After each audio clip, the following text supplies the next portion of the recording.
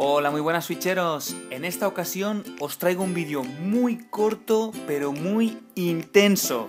Y es que se ha filtrado el nuevo videojuego de Ubisoft que iba a sacar con la colaboración de Nintendo. Como podéis ver en esta imagen, se esperaba que fuera una sorpresa para el E3. Previamente después iban a hacer varias previews del juego y finalmente para agosto-septiembre ya estaba preparado el juego para salir al mercado después de las reviews. Es que esto, esto es increíble, se les ha filtrado todo, se les ha filtrado todo antes del E3. Si es que quedan tres semanas y ya sabemos muchísimas cosas de este juego, no deberíamos de saber ni siquiera que iba a salir. Pero bueno, ya que tenemos esta noticia, pues vamos a comentarla, ¿no? Como podéis ver, tendremos 8 personajes jugables, entre ellos están Mario, Luigi, la princesa Peach y Yoshi, y luego habrá un Rabbit disfrazado de cada uno de ellos, cada uno con una personalidad y un estilo de juego distinto. También si os fijáis llevan armas que parecen ser que dispararán láseres, así que es la primera vez en la que vemos a, a la gente de Mario con pistolas láseres, o sea, la verdad es que es bastante curioso. Pero no solo eso, y es que aún podemos comentar muchísimo más.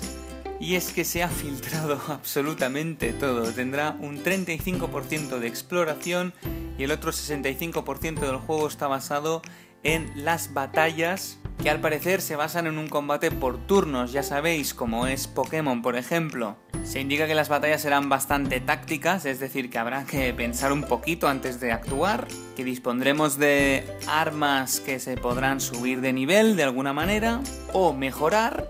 Habrá como cuatro mundos que descubrir y en cada uno de ellos siete archienemigos y un boss final más o menos. Y bueno, viniendo de Mario y viniendo sobre todo de Rabbids, sabremos que será un juego bastante divertido y cargado de humor, que tiene multiplayer para dos personas en cooperativo.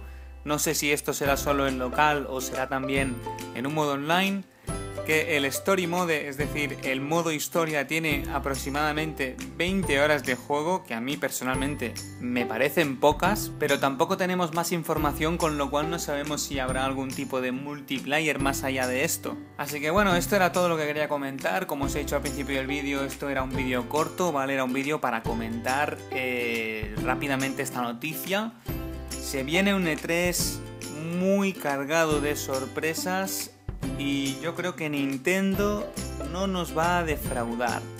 Eh, mucha gente está comentando que si no vale la pena la Nintendo Switch, que si tiene pocos juegos.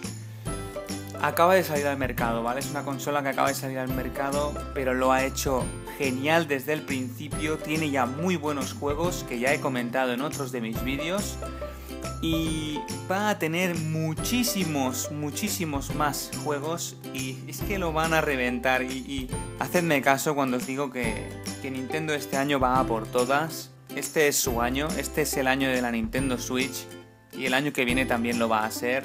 Creedme cuando os digo que 2017 va a ser un año maravilloso para la gente que nos gustan tanto los juegos y sobre todo los que somos de Nintendo. Así que nada más, esto era todo. Muchísimas gracias por escucharme en este vídeo y sobre todo, y lo más importante de todo, que el vicio continúe.